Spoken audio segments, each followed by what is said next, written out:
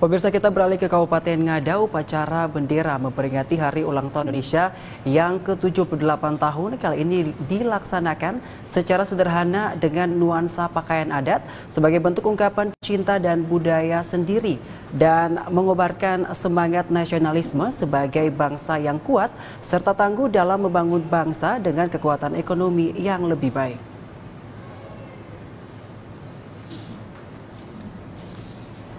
Perayaan Hari Ulang Tahun Indonesia kali ini berjalan dengan sederhana di Taman Kartini Bajawa yang diikuti oleh TNI Polri serta ASN dan sejumlah siswa sekolah yang ada di Kota Bajawa dengan mengenakan pakaian adat dari daerah masing-masing sebagai bentuk ungkapan rasa cinta tanah air dan penghormatan kepada jasa para pahlawan yang telah berjuang untuk meraih kemerdekaan Indonesia dari tangan penjajah.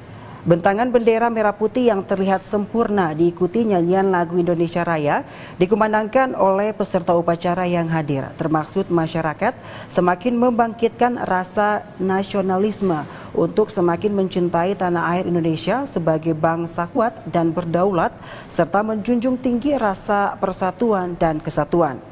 Bupati Ngada Andreas Paru menjelaskan bahwa kemerdekaan sudah seharusnya diisi dengan semangat membangun bangsa yang dimulai dari daerah sehingga target pencapaian peningkatan ekonomi masyarakat dapat diwujudkan termaksud merubah cara berpikir masyarakat agar lebih maju dan kreatif dalam membangun usaha.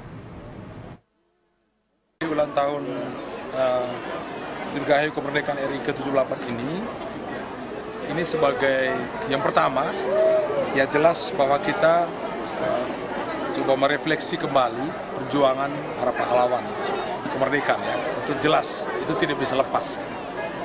Nah berkaitan dengan era saat ini di mana perjuangan itu telah diperjuangkan ya, oleh para pahlawan-pahlawan kita yang luar biasa mengorbankan jiwa dan raga. Saat ini perjuangan kita adalah bagaimana mensejahterakan rakyat Melalui apa? Melalui pembangunan-pembangunan. Pengibaran bendera kali ini hanya melibatkan beberapa anggota Paskibraka didampingi anggota Polres Ngada untuk mengibarkan bendera tetapi tidak mengurangi semangat dan kemeriahan upacara bendera sebagai bentuk ungkapan rasa syukur atas kemerdekaan yang sudah dijalani selama 78 tahun dari tangan penjajah. Dari Kabupaten Ngada, Leksi Nunu TVRI NTT.